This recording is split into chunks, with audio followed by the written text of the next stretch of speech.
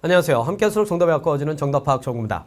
자, 우리 고2 학생들을 위해서 자 내신 대비를 위한 내신 단원별 문제풀이 강의를 이제 오픈을 할 건데 어, 선생님이 연간 커리에서 얘기했듯이 그때 약속을 했죠. 작년에는 선생님이 내신 대비를 많이 도와주지 못했는데 그냥 개념 강의만 찍어드리고 했었는데 올해는 좀 더 구체적으로 어, 내신 대비를 도와주고 싶어서 자 내신 단원별 문제풀이를 진행을 할 거예요.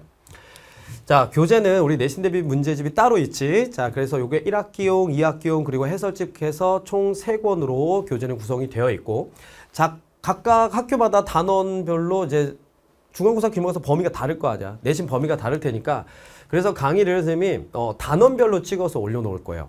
그래서 1단원이 이번 1학기 중간고사일 수도 있고, 뭐 1단원이 좀 다안 들어갈 수도 있고, 그 다음에 2단원 조금 더 들어갈 수도 있고, 뭐 그럴 것 같아서 단원별로 찍어서 올릴 건데, 자, 내신 대비를 하기 위해서 듣는 거기 때문에 너무 길지 않게. 그래서 딱 10강 내외로 단원별로 찍어서 올려드릴 거고, 이게 문항이 우리 교재 문제가, 문제가 엄청 많아. 천 문제가 넘어. 그래서 선생님이 모든 문제를 다 풀어줄 수는 없지만, 자, 주요 문항들을 풀어드리도록 할게요. 자, 그래서 물론 이 강좌 말고도 기출의 정답이 있어. 자, 기출의 정답도 최근에는 이제 내신이 기출에서 많이 나오기 때문에 기출의 정답도 되게 좋아요. 자, 기출의 정답 실제로 고3들 기출에서 많이 나오고 있기 때문에 자, 그 강의도 참고를 같이 시간이 된다면 했으면 좋겠고 자, 그다음에 요 내신 대비 문제집에는 내신 형태로 서술형도 수록되어 있고 여러분들이 내신을 대비하게 좀 더 구체적으로 구, 문제가 구성이 돼 있어서 자, 더 도움이 될 거예요. 근데 이 강의를 쌤이 강의 방식을 바꿨어요. 크게 하나 바꿨어. 뭘 바꿨냐면 어, 개념 강의를 들을 때는 이제 판서 강의를 많이 들었을 거야. 근데 문제를 풀 때는 그 강의를 들으면서도 그런 생각 해본 적 다 있을 것 같은데 선생님은 도대체 어떻게 풀까? 어, 훈구는 어떻게 풀까? 이런 생각 해보지 않았을까? 그래서 선생님이 이번에 아이패드 화면을 띄워놓고 아이패드에 문제를 띄워놓고 거기다가 직접 문제를 풀어드릴 거예요. 그 화면에 올릴 거야. 그러면 그걸 보면서 아, 이 문제 이렇게 접근하는 거구나. 개념에서 쓰인 내용들이 야 문제를 풀 때 이렇게 이렇게 적용이 되는데 좀 더 구체적으로 아 이 자료에서 이 숫자는 이 뜻이고 이 그래프에서 이 부분은 이 뜻이고 그래서 내가 기역 니은 디귿을 풀 때 어떻게 어떻게 어떻게 풀어야 되는 건지 구체적으로 쌤이 푸는 방식을 한번 보고 자기가 틀린 문제 혹은 시간이 많이 들었던 문제 그런 경우에는 꼭 보면서 아 이렇게 이렇게 하면 시간을 더 줄일 수 있는 거구나.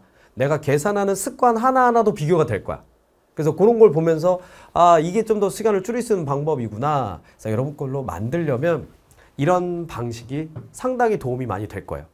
그리고 물론 이게 선생님이 안 나와 내가 안 나와 화면에 안 나와 그렇다고 너무 섭섭해하지 말고 섭섭 안 하는 건 아니지. 자 그래서 선생님이 섭섭해하지 말고 자 선생님이 화면에 안 나오겠지만 아이패드에 이렇게 풀어주면 이게 마치 옆에서 이렇게 과외해주는 느낌?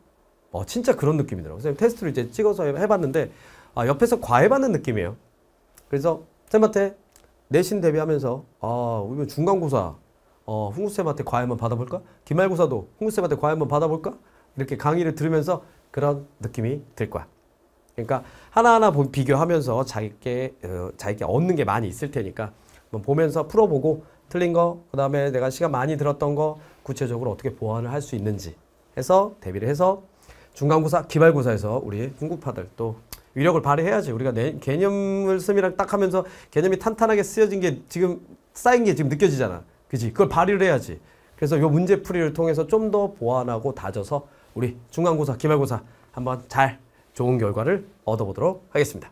자, 그럼 1강에서 1학기 중간고사 대비 쌤이랑 과외 한번 받아보도록 할게요. 자, 그럼 1강에서 만나겠습니다.